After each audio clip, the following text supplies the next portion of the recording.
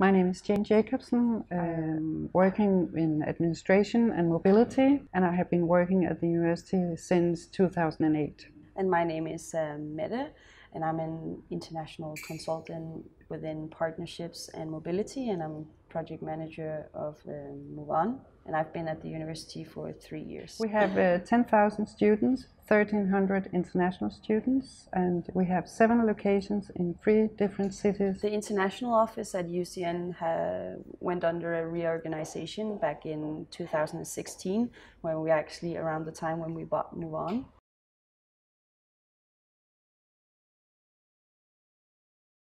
We actually heard about MoveON from other sector colleagues, and we went to visit another university college in Copenhagen, I think way back in 2014. Mm-hmm. Yeah.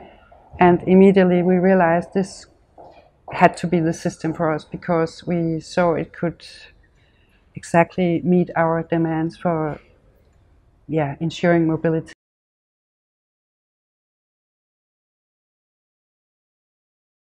We handled the mobilities uh, prior to MoveON in different spreadsheets in different faculties, and it wasn't that uh, good solution for us because we really didn't have an overview. If the direction of uh, UCN wanted for some valid data, it took a real long time to collect those data, and uh, the validity was often not as as good.